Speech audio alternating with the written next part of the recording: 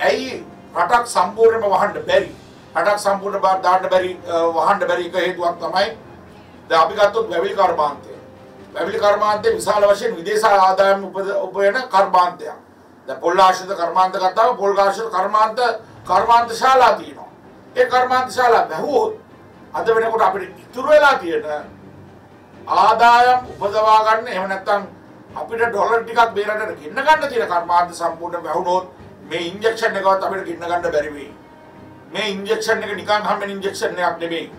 මේ එන්නත් කරන වැඩසටහන සඳහා රජය සම්පූර්ණයෙන්ම ලංකාවේ මුදල් නෙමෙයි ඩොලර් පාවිච්චි කරලා තමයි මේ එන්නත් කරන වැඩසටහන කරන්නේ.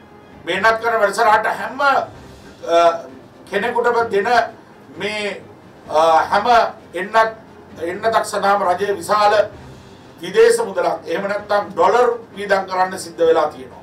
අපි අපිට සංචාර කර්මාන්තයෙන් බිඳුවට වැටලා තියෙනවා. හම්බෙන එක සතයක්වත් සංචාර කර්මාන්තයෙන් ඩොලර් හැටියට අපිට එන්නේ නැහැ. එතකොට අපේ ඇගලුම් ක්ෂේත්‍රේ කඩාගෙන වැටලා තියෙනවා.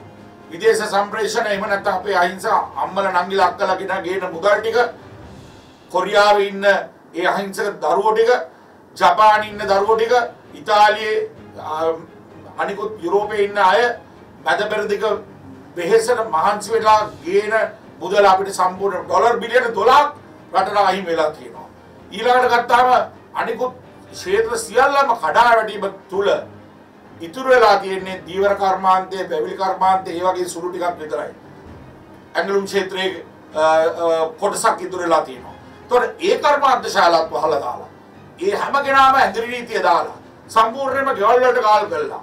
එහෙම කරොත් අපිට මම හිතන්නේ මේ එන්නත් කරන වැඩසටහනවත් හරියට කරගන්න බැරි වෙයි. ඒක නිසා මම හිතන්නේ ඒක අපි පුළුවන් තරම් අපේ විනය ඇති කරගෙන ඒ සීමා රජය දාන සීමාවත් එක්කලා දැන් පහුගිය කාලේ මගුල් ගෙවල් සම්බන්ධයෙන් රජය ඒ අරින්න පුළුවන් ප්‍ර- පළවෙනි අවස්ථාවේදී රජය ඇරලා ඒ විශාල වශයෙන් මානසික පීඩාවලට ලක් වෙලා හිටපු විවාහ වෙන්න බලාගෙන හිටපු අයට ඒ අවස්ථාව ලබා දුන්නා.